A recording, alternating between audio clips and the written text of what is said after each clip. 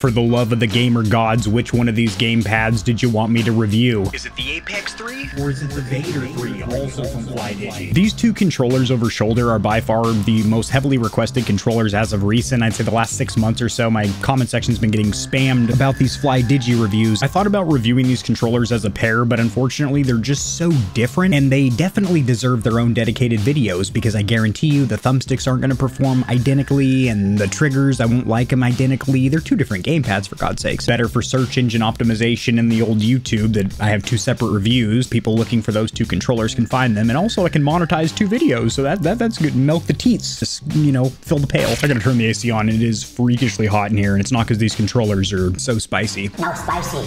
How do you know that, Kevin? They're in the box. I've already reviewed them. My reviews are shot much like George Lucas's films. Start with the ass end, flip it on its face, hit it from the side, and then I'm going to hit you with a three-part prologue that's also the sequel, though, but you'll understand which controller is best.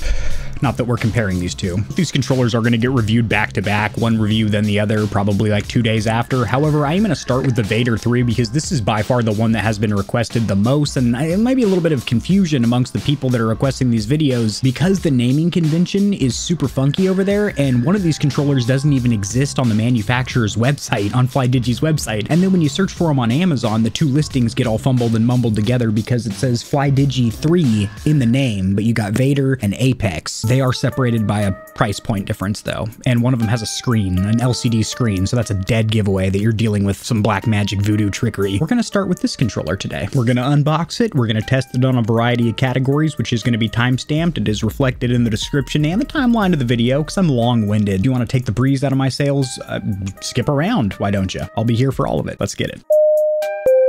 This is your controller captain. We've reached 6,900 feet. Go ahead and start flicking the sticks and mollywopping the back paddles. Mm, you don't like back paddles? How about those rear buttons? We've tested almost 100 custom and premium controllers and we're only at the beginning. You need a thumbstick guide or a tutorial on how to overclock your controller? Check out the controller playlist. Bing bong. Controller captain out. This is usually where I insert my little disclaimer if these controllers or peripherals were sent for review. However, FlyDigi did attempt to send some products like eight months ago and then we lost contact and they never arrived and I think they forgot they sent me products. I think I forgot that I was waiting on controllers other than the slick reminder I would get slapped with in the comment section. Hey, Vader 3, Apex 3, FlyDigi controllers. You gonna review them, bro? You haven't reviewed them yet. You gonna review those suckers? Yes, we're doing it today. So just to stir the cauldron of confusion, we have the FlyDigi website over here, ranked number one of game controllers in China. Sick. So these are super Chinese controllers. All granted, uh, all controllers have parts, components that are sent from China, but this controller is straight up, straight up Chinese. If you're one of those diehards, it's like, oh, you better drive an American car. If you pull up in anything other than a Ford or Chevrolet, get the F off my driveway. You probably don't want your friend coming over with a FlyDigi controller. So they make a slew of other products that I can't really speak on the quality of because I haven't tested them yet, such as earbuds. Again, all these products are coming directly from China, but some fun and weird things on this website. First of all, you cannot purchase anything directly from this website. It will take you directly to Amazon. Not only can you not purchase anything, but even just trying to browse some of the key features. Generally, controller manufacturers have some slick landing page where they're really going to flex the controller's features and whatnot, but they are missing so many models of their controllers. For example, where the hell is the Vader 1 and 3? Where is the Apex 1 and 3?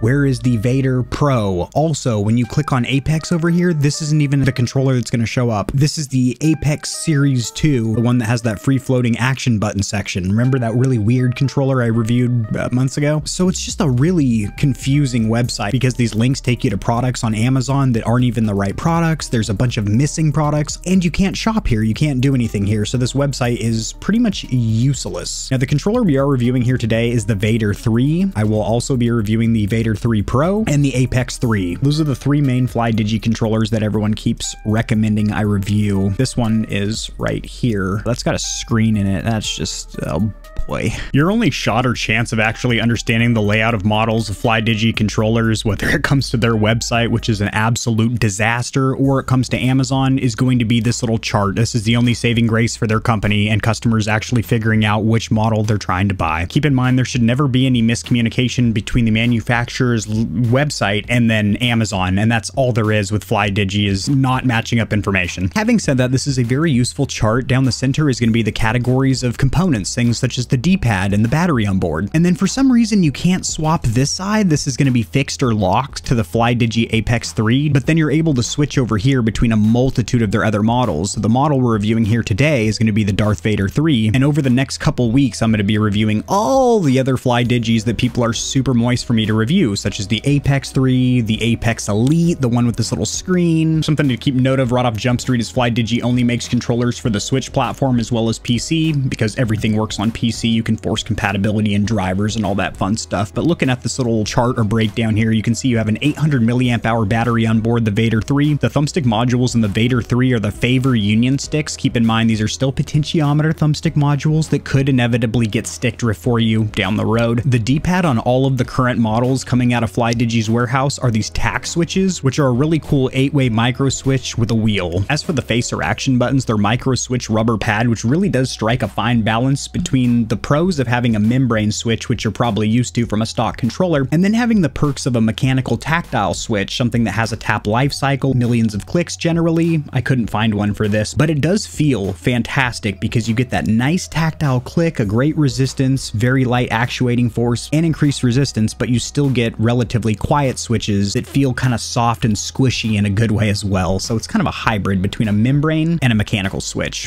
which is great. The triggers in the Apex 3 are force feedback Hall sticks, which means they are Hall effect sensors. These should be a lot more reliable. However, on the Vader 3, which we're reviewing today, not only are they Hall, but you also have trigger stops, which allow you to have a tactile mouse-like click for those bang bang McShooties. And then motion function, it's really hard to see because I have a dark theme here, but there is a little checkbox, a black check on a black screen. So it's very hard to see, but both of these do have full motion support. Do they have amiibo support?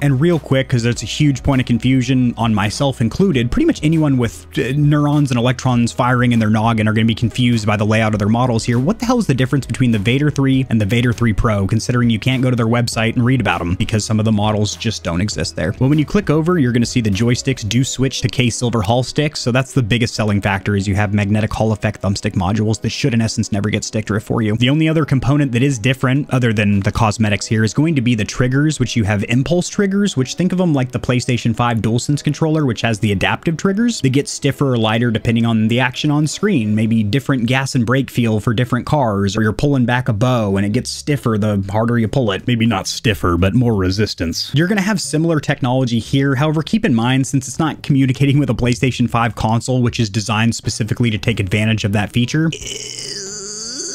it will try and supplement this through the software of the controller, and it does a decent job, but it's not going to be like a one-to-one -one experience of what you're used to with the adaptive triggers on the PS5. It's not the same. Speaking of which, there's a PC program called DSX, which I'll be doing a tutorial for in the near future, which takes the features from the DualSense, such as the haptic feedback and adaptive triggers, and makes them usable on PC, but just like what I'm talking about here, it's not exactly a one-to-one -one experience. It does what it says sorta. Pretty good presentation and just general appearance for a $76 controller. It is $90 for the Vader 3 Pro, which looks substantially different and will be reviewed in the near future. You have this little card, which I'm assuming is thanking you for your purchase. That's a sick-ass signature, by the way. This is an empty box, but at one time, it had a controller inside it. And if you wanted to pause to read some of the key features, um, go ahead.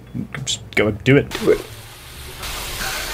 Do it plastics feel pretty damn cheap. I can tell that immediately, but the controller does look very slick. You have a little cutout for your finger. All right. Um, I retract my previous statement to a certain degree. Still feels cheap, but uh, a different type of cheap. In this box, you're going to have two paper manuals, two pieces of plastic, three QR codes, one cable. How long is it? About 10 foot. Just rubber, not microfiber, braided, no dust covers on the USB A or C end. Well, it looks like a 3.0 cable, or at least they're trying to deceive us, making that blue usually a 3.0 thing, which I've covered in the past going USB 3.0 versus 2.0 makes no difference for controllers as far as speed. It's more so for data transfer rate when you're transferring files and stuff like that. What the fuck? It's even blue inside the USB-C end. The instruction manual, I can't make heads or tails, tips or tits with it. It's not in my language, my native tongue. Cosmetically, this controller does a delectable dance of death on my corneas as it looks pretty damn sexy. You have this gray lettering on the face buttons, which I think looks very slick. Those are mechanical.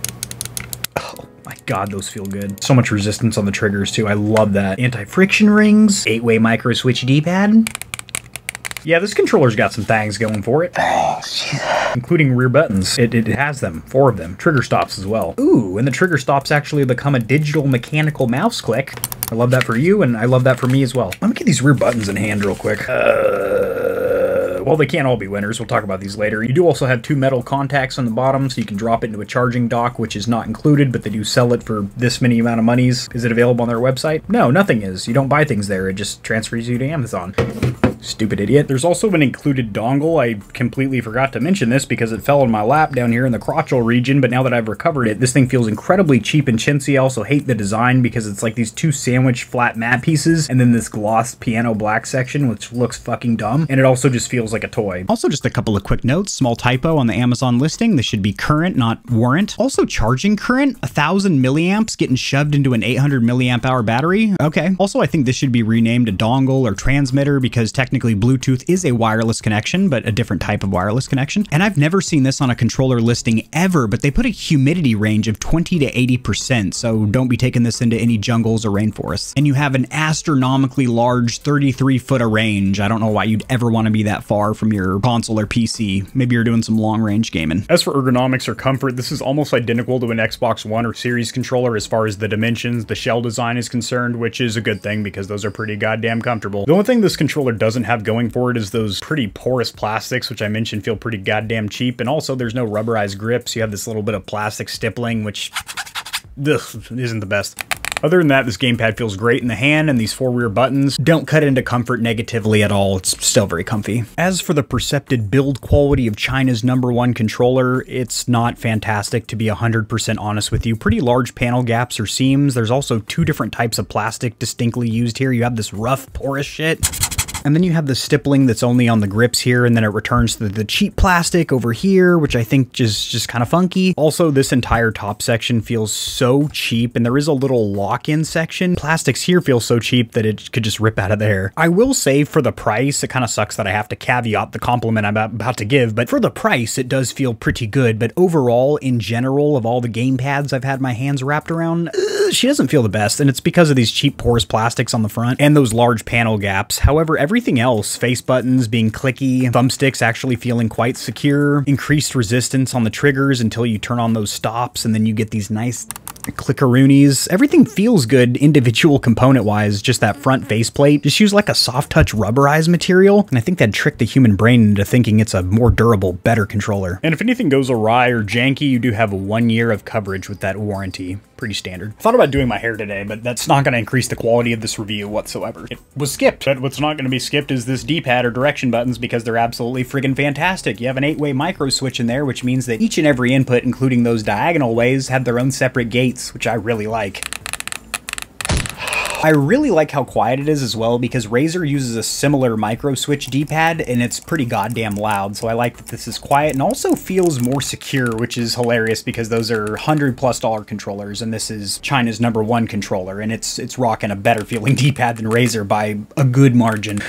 Also, the plastics on the D-pad feel pretty good, pretty supple on the thumb. I really do like this. It makes changing directions, doing roll-offs, and even just swapping weapons with the 4-point. It'd be cool if it was removable and then you had a 4-point option as well. This is great. 8 out of 10. I just realized I was accidentally testing the low light performance of this iPhone, which probably isn't the greatest because I had my ring light set at 30 percentile. Now we're at 80, so I can really scorch my corneas. I don't mind getting flashbang during my videos. It's just occupational hazard. Face or action buttons feel fantastic. At least these four up here. These two down here are going to be a typical membrane switch, which is silly to the brain when you're like, mmm, these are clicky bits, and then you come down here and you got the mushy bits down here. It's not too big of a deal considering these aren't going to be used constantly. They're just going to be additional inputs that you can bind. I did find it odd that these don't have a tap life cycle considering they are mechanical switches. Why use mechanical switches and not put a tap life cycle unless they are subpar switches? That's literally the only reason I could think of not including, hey, rated for 5 million or 10 million clicks or more. They go higher than that, but they do get more expensive along the way, and I'm sure they're trying to keep manufacturing costs down, so it keeps the cost down for us, the customer. China's number one controllers, they can't be super expensive, and they're not. So I don't like that they do not have a tap life cycle. I also don't like that they're super rounded. They're virtually identical to Xbox Series buttons, which are super round and glossy. I mentioned during my Xbox versus PlayStation controller video that I do like the flatness and the overall shorter actuation of the PlayStation 5 DualSense. But what I really do like is the way they feel. I mean, mean, that's the most important part. You're going to be touching these buttons a lot. Pretty good amount of resistance. Nice tactile click to let you know that you did actuate those buttons. They also snap back freakishly fast, the rebound very quick. And I think what I like most about them is that they are kind of a mix of having a mechanical switch and having a membrane switch, which you really don't see. Generally, these companies take it to one degree or the other. Hmm, my last note is that since they do have a rubber pad under here, they should be substantially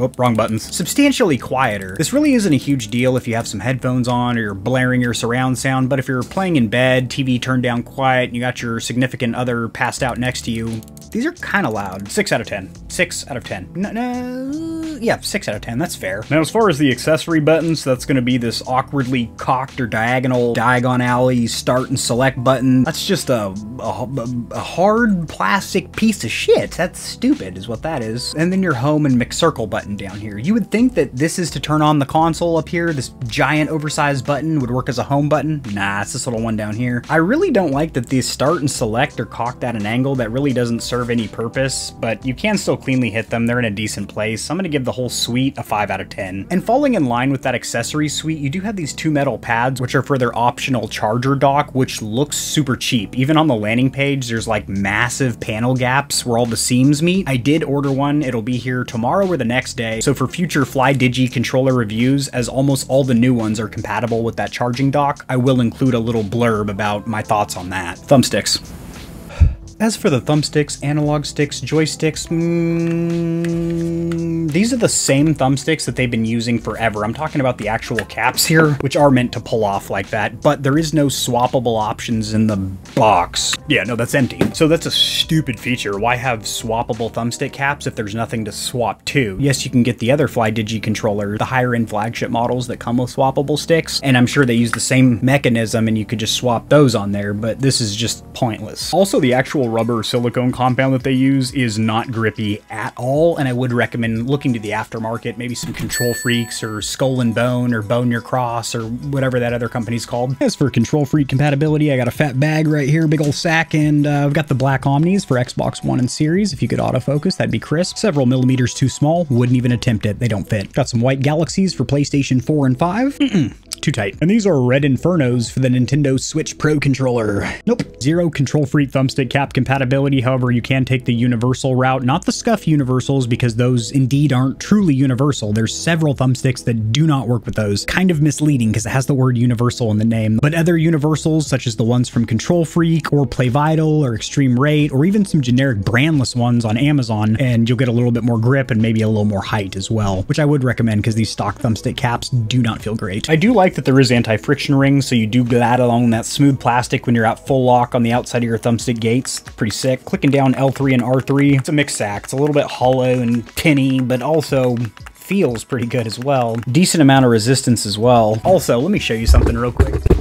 I saw V vCUDA, who's another really good controller reviewer, using one of these bad boys. This is a force actuation measure, so you can measure the strength that it takes to pull the trigger on a firearm, or, sure enough, how much resistance is on thumbsticks. So there are indeed controllers that have increased thumbstick tension. In fact, you pay for the feature on the builder, so this would be a cool tool to measure that. However, it is so goddamn complicated to use, and I'm not really getting consistent readings with it. So yeah, I could just kind of cheese it and be like, yeah, this is the readings that I'm getting. Since it's not really meant for controller thumbsticks, thumbsticks, I've tried the push and pull methods, different units and everything, and I'm not really getting consistent, accurate measurements with this. Not saying that other reviewers that use these aren't, but I'm not, and I don't really think I'm gonna be using this you know what I mean? The idea was good. It was recommended to me by like two or three subscribers in the comment section, and of course, me being the yes man, I'm like, yeah, hell yeah, I'll check it out. And I did, and it just, it's stupid for controllers. It really is. Let me give you my ex-military explanation. I'm going to be training with this piece of equipment until I feel confident in its intended uses, as right now I really don't, and I'm not getting consistent results. They're different each and every time I measure. Now, vCUDA did send me a message in Discord, messages, I guess plural, trying to explain how to use this thing, give me a little behind-the-scenes training. I did buy a different different model than he did from Amazon. Maybe that's where some of my issues are coming from. Eventually, you will see one of these devices implemented in my controller reviews for the thumbstick section, but um, it might be a while because I want to make sure I fully understand what I'm doing with this device. Every segment of my controller reviews, whether I'm overclocking, measuring the polling rate, measuring the thumbsticks and gamepad tester, I did a shitload of research as to what I'm doing before I present it to your doorstep and provide a bunch of misinformation to the internet. Not going to do that with this, but just using my hands, the good Lord bless me with, these feel like standard thumbsticks because they are standard potentiometer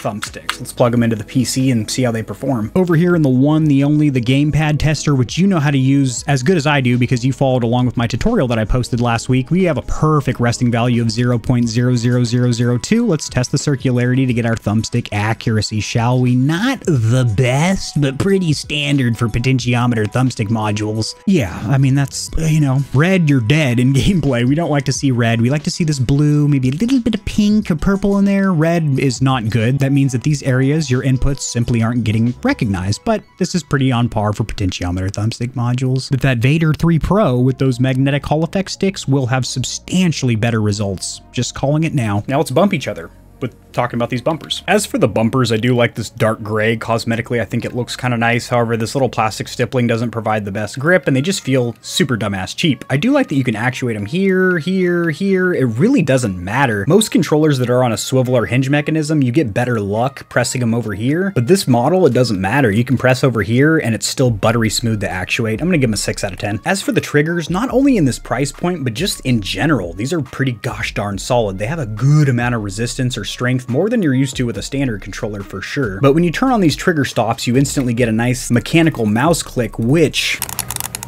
I've got to say over the 8, 9, 10, maybe even more companies I've tried now with these style of mechanical clicky tactile triggers, these feel almost the best. The only thing that could make them feel a little bit better is using higher quality plastics because what's making contact with your fingers isn't the greatest, but the actual switches in there are a perfect amount of resistance and also just easy to actuate, super fast. I love them. I'm going to give the triggers a 9 out of 10. Change those plastics up and make these three-way trigger stops and dear lord, these are getting there. Finally did something with my hair now that we're at the end of the video. These four rear buttons had potential to be great, and while these two outermost ones are pretty decent, these inner ones, you gotta work for them. Moving your fingers just a little bit to hit them, you can't really cover all four of them simultaneously, which isn't a huge deal, but what is a big deal, you cannot remap these on the fly, or if you can, there's nothing in the instruction manual. In fact, the instruction manual has zero North American or English instructions. If I block this one with my finger, you can scan that QR code, go ahead and pause, pinch, zoom, do what you need to with your phone. That will take you to a North American or English manual, but that one still doesn't explain how to rebind these rear buttons, but that's because you have to use their application, their software suite, which is pretty horrendous. It's called Space Station. You have to go on a full space expedition to get it, to download it. But I will be giving you a full tour walkthrough in a couple of segments. Actually, I think it's the next segment. Yup, that's how it always goes. It's rear buttons and then the software suite, so it's next. But ergonomically, these are in a pretty comfortable position where you want to naturally rest your hands. That's where you're covering these rear buttons. They're also pretty silent, quick to actuate. Plastics feel decent on my fingertips. But the fact you can't rebind on the fly, or if you can, I've got to know how to do it. Give me some instructions.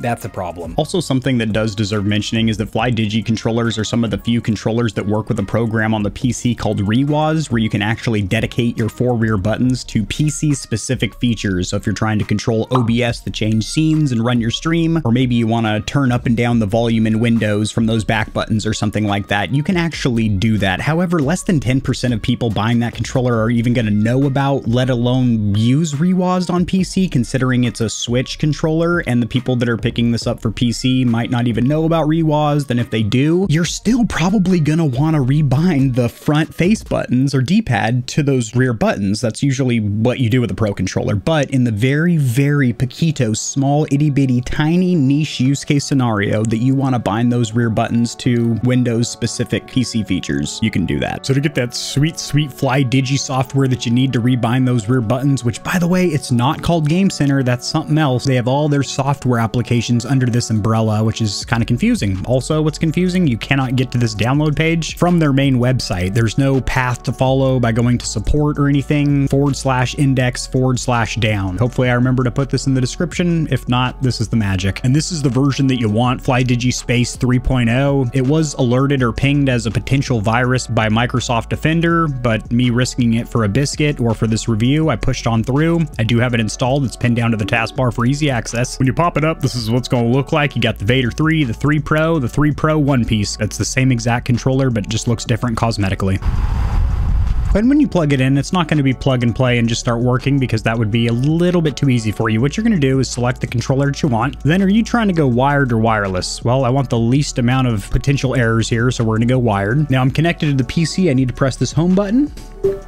Boom, little vibration, rumble in the controller. You cannot full screen this application. You can't even pinch the sides to resize, which sucks. Oh, I also hate that as well. You have your local games over here, which by the way, I have a lot more games installed on my PC than just this, but you can do by game or per game profiles, which I can guarantee you is not going to be as smooth of a process as the manufacturer believes it to be. This whole part of the application should just be lopped off with the next update. You click on function settings, you get this little pop-up that pops up and lets you know with quick switch configuration, you can actually swap between four profiles or configurations on the fly. I like that. Also, you can set your sleep time. Default's 15 minutes. I'm going to set it to five. Save a little battery life. Now that quick switch configuration isn't going to work by default. You need to go ahead and tick this and then you need to select your four configurations. The very first thing I recommend you do is click on this gamepad icon and you are going to have two updates available. One for the software, which is fucking dumb because I just installed it. It should be the latest version. And then the controller, which makes sense. Hmm. Okay, stability upgrades, one click upgrade. There she goes. So it actually did work exactly like I was just ranting how it should, where you click on update and it says, hey man, you just installed the app. You're up to the latest and greatest. I will say cosmetically, this is a pretty poor looking application. It is difficult to navigate and it doesn't look very clean, but it does have the core functionality we want from a software program. Clicking on test over here, this is going to be a diagnostic tool. And this is so neato Toledo. As I move the controller back and forth, that polling rate is changing in real time. So if I sit and go static, I'm not touching anything. I'm down to zero hertz, but I start moving around,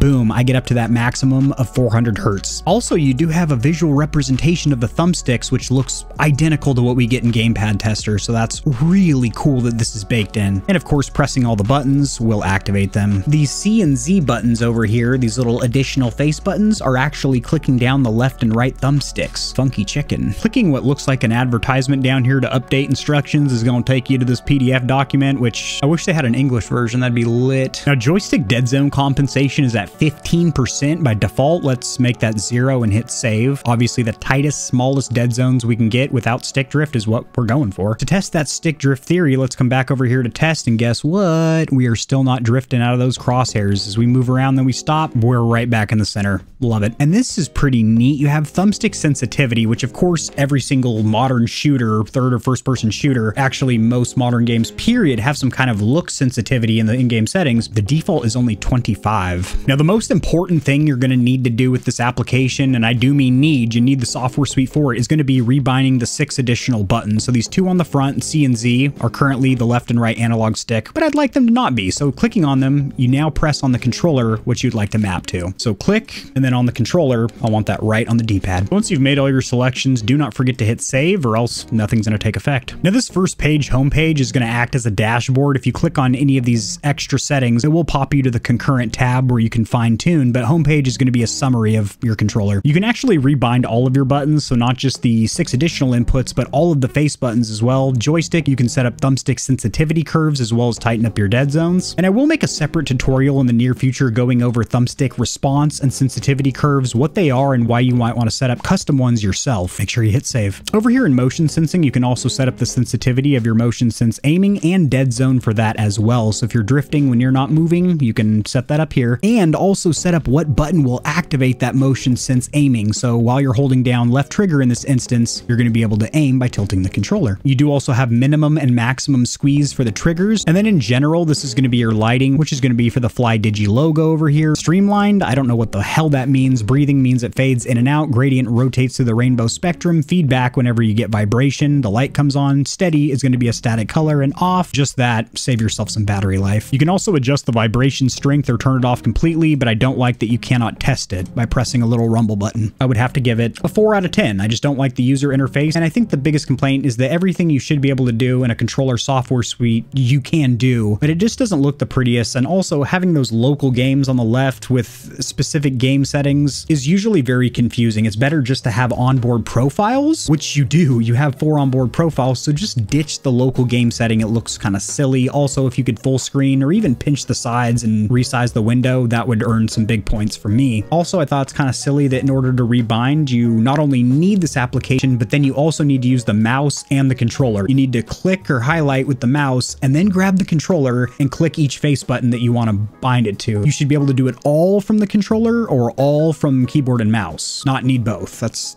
stupid. As for estimated battery life on this bad boy, the Vader 3 does have an 800 milliamp hour battery on board, which doesn't sound like jack shit. However, in essence, that can get you 40 hours of gameplay and does support fast charging with one to two hours getting you fully topped off. Now, you might be thinking to yourself, Kevin, those numbers just simply don't make sense because there's a 1560 milliamp hour battery and a PlayStation 5 DualSense controller, and I'm only getting about four to six hours of gameplay on that. Four to six hours, huh? Must have been smoking some moon dust or something. I must have been thinking about the DualSense Edge, Sony's first party pro controller, as that does have a physically smaller milliamp hour battery, but yet the same battery draining features of the DualSense controller. With a stock DualSense, you're going to get about six to 12 hours of gameplay. With the DualSense Edge, you're going to get about four to six. Up to eight if you turn off all the shit like vibration, lights, adaptive triggers, microphone, and all the other cool stuff you probably want to leave on. And even without those features, it does seem like 40 hours of battery life on an 800 milliamp hour battery just, it doesn't make sense to me, but I can't debunk that or say it's not true because I haven't been able to kill the battery on it yet, so it might very well be true. But we have controllers out there like the Microsoft Elite Series 2, which has an estimated 40 hours of battery life, and that's actually underestimated from the manufacturer as I've gotten what seems like double that at some points, and the standby time is astronomical. I throw that gamepad in a drawer, come back to it two months later, play for a couple of hours, do the same thing over and over, and it seems like I hardly ever charge the thing. A little sidetracked, but we're talking about batteries, so it's kind of still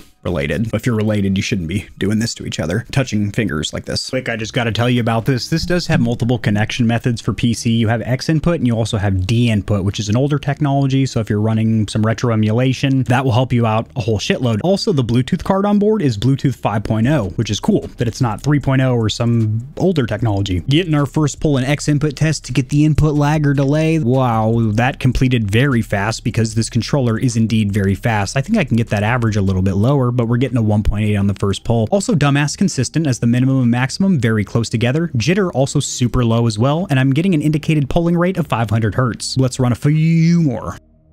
Bam. So that test completes very quick because the computer is receiving those thousand inputs or samples. Lickety split, lick the. also wildly consistent. That second poll also close with the minimum and maximum. About the same average, 1.8. Still showing a 500 on the polling rate. Jitter, low as hell. This is nice. Can I overclock it? That would make it even nicer if I could shove uh, a faster polling rate into this controller. Over here in the Lord of Mice overclocking program, if you select all in this drop down, you will see your controller, Xbox 360 controller for Windows, somewhere between between 1 and 16 milliseconds of input lag or delay, not overclocked on the stock clock. Not for long, I tell you that right now. Balls to the wall, 1000 hertz, install service, you open, filter on device, install that service, open, unplug, replug.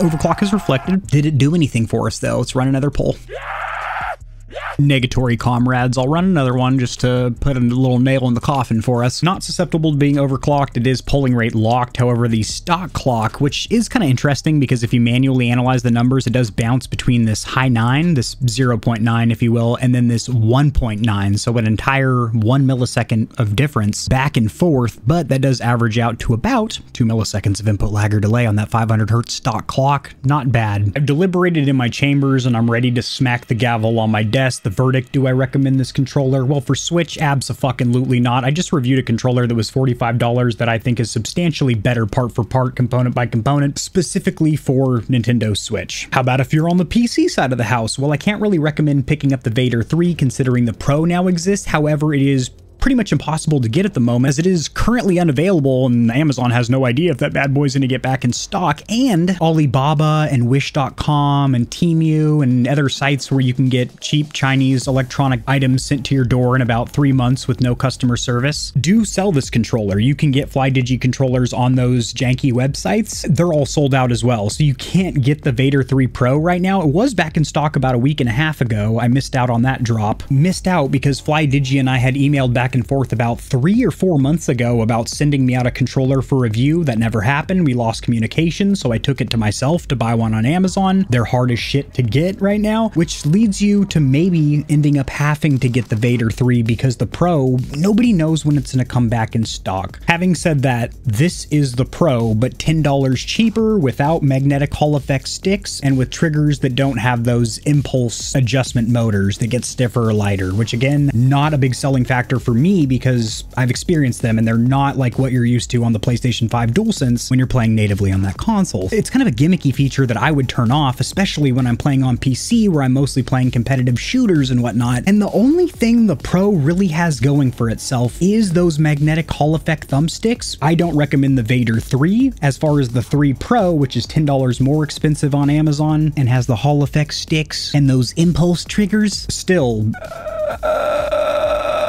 I don't just want to all out say I don't recommend that controller because then you won't watch the review. It's going to be in a few days, packed full of all kinds of controller goodness and humor and comedy sprinkled in there. It's going to be a dank review regardless of the fact if I don't recommend it or not. These controllers are so highly recommended by my audience to review, and I get it. They've got the mechanical clicky face buttons, they have rear buttons, they got trigger stops, they have all the pro controller features. They put a tick in all the boxes that that I like to have tickled. But there's other controllers at the same price point, even cheaper, that are on the same platform, Switch, that are better. And to really explain my major gripes with this controller, you have to rebind those buttons with the Space Station application, which is only available on PC and Mac. So if you don't have a computer, these buttons are completely useless to you. The main feature of this Pro controller is null and void, NA, not usable to you because you don't have the software program, which is a real sack of crap, by the way, the program itself. And if there is a way to rebind these buttons on the fly, I apologize, but that needs to be made incredibly apparent in the instruction manual. And not only is there no English in the instruction manual, even on the digital or software instruction manual, it's it says nothing about these rear buttons. There's no amiibo support, despite the fact that it tricks the games into thinking it has amiibo. It'll turn on the amiibo scanning function, but there's no